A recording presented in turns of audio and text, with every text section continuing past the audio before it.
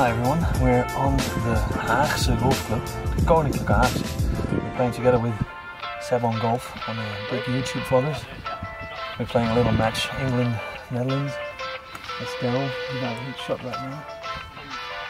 Let's see how it goes. Yeah, it's not much, I wouldn't run it much, it's enough to get that roll out.